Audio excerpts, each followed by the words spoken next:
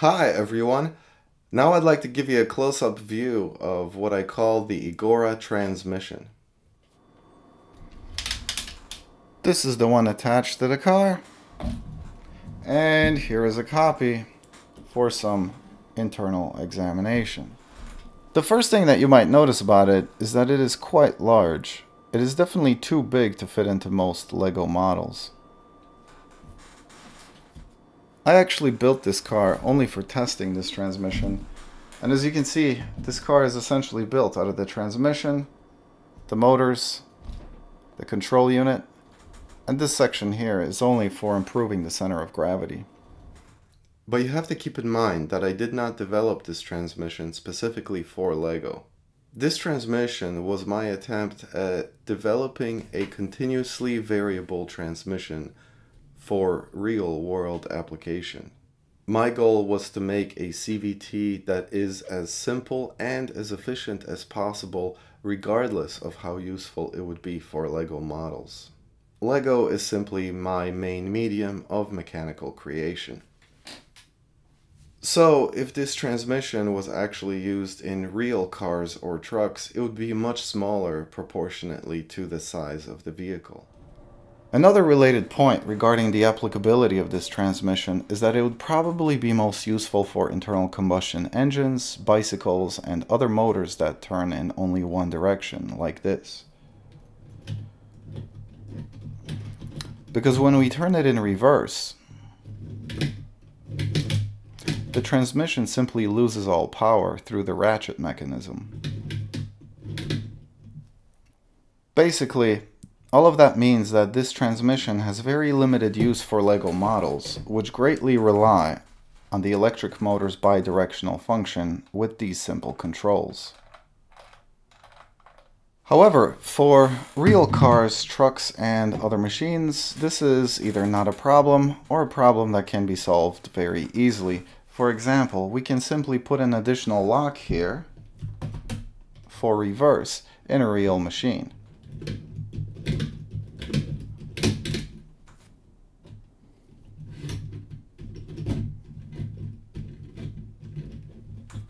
Now, let's see how this transmission exactly works. When I take it apart, you can see that it is divided into two main chunks. This chunk consists of the drum and the clutch, and this chunk I call the spindle. Let's start with the spindle. The spindle has the input shaft here and it contains two planetary gear sets, one on this side and one on this side.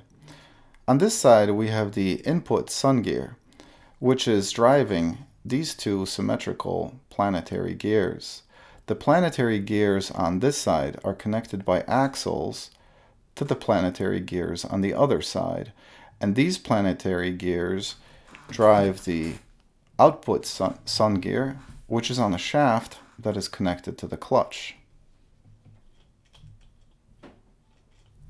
Additionally, these two swinging arms on the spindle are symmetrical ratchet mechanisms that work against the frame of the transmission to prevent the spindle turning in the wrong direction and thereby bleeding power at the minimum gear ratio.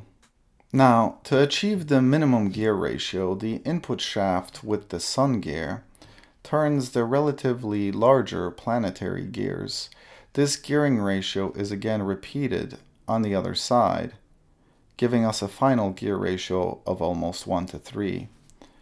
In this minimum gear ratio, the ratchet mechanism is essential because if we have any resistance on the output shaft, the whole spindle will spin to relieve the strain by turning in the opposite direction.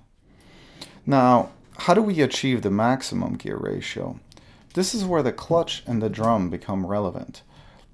The clutch is calibrated so that when the output shaft reaches the appropriate speed, the shoes expand from the center and begin to grab the drum. The drum is actually fixed in place relative to the spindle because these three axles keep the two parts aligned. So when the clutch begins to accelerate the drum, the drum then accelerates the spindle with it.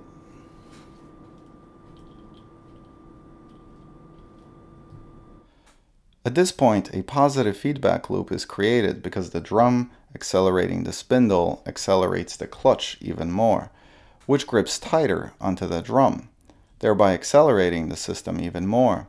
This acceleration keeps happening until the clutch and the drum and the spindle become completely locked together, thereby turning this whole system into essentially a single axle. Consequently, this gives us a maximum gear ratio of 1 to 1. Now, while this transition is happening, we have to remember about these ratchets. The really efficient thing about them is that they are calibrated to be in effect while the spindle is completely stopped or slowly moving. However, once the spindle begins to be driven by the drum, the heavy ends of the ratchet mechanism cause the functional ends to retract due to the centrifugal effect. So, the important point here is that while the ratchet mechanisms create some noise and resistance during the transition phase, these negative factors are completely eliminated at higher operating speeds. Now, let's talk about the efficiency of this mechanism, and this is the most exciting part to me.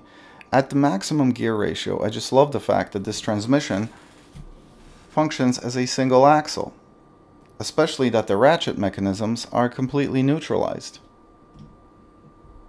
So this means that this transmission is essentially 100% efficient at its maximum gear ratio.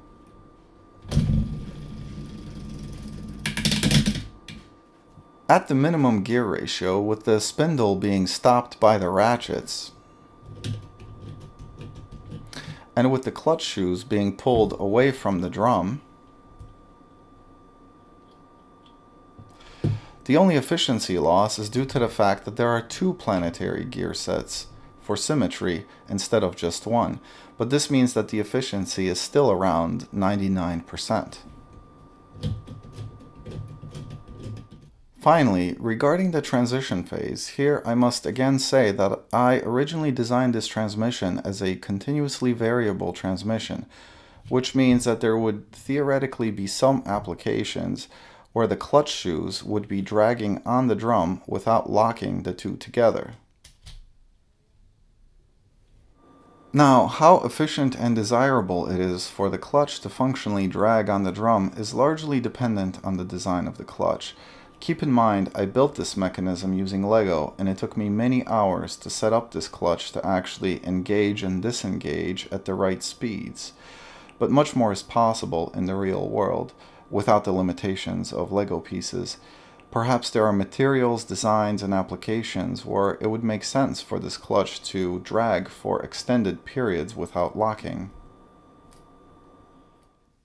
But here's another thing that I love about this transmission, which is related to its efficiency. This transmission is so simple that in a real-world application, it would be rather easy and cheap to put several of them in a series.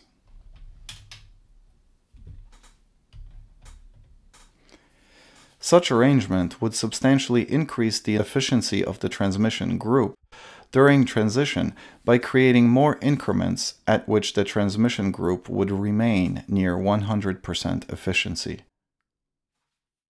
But now, if we did that, if we put several of these transmissions in a series, that would be very similar to a standard automatic transmission. Would that be worth it? Would that still be considered a CVT? I really don't know.